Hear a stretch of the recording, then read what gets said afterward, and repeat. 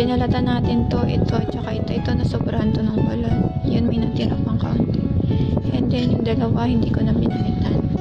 Sabi nila, mas mabilis daw tumubo yung buto pag binalatan eh. Kaya try natin. Kailan kaya magiging apple to? Let's see.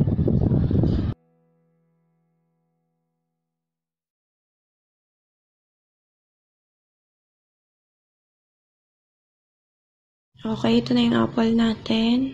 Nilagay natin siya ng October 8 sa ref and ngayon ay October 24 ng umaga. And medyo natagalan yung pagtubo. So, check natin.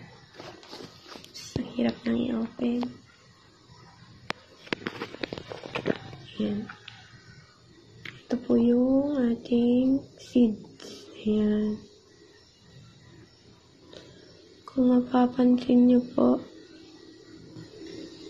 ayan siya.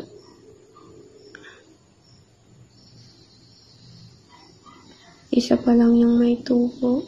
Lima sila, pero ito pa lang yung nagwagi. Ayan. So, balik natin. Check natin kung kailan pa tutubo yung iba.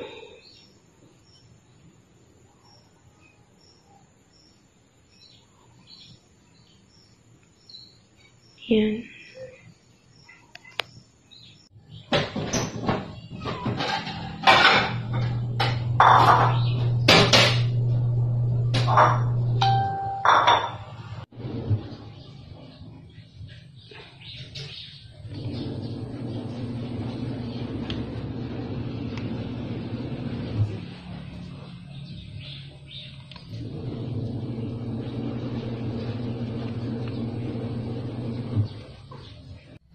Okay, ayan na po siya.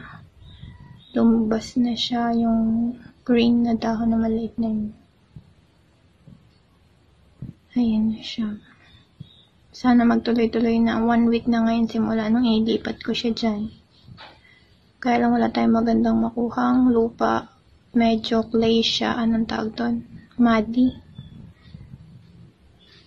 Malagkit. Ganon yung lupa niya. Kasi nag-uulan ngayon, kaya ganyan. Buti na lang, tumubo. Sana magtuloy-tuloy. Yan.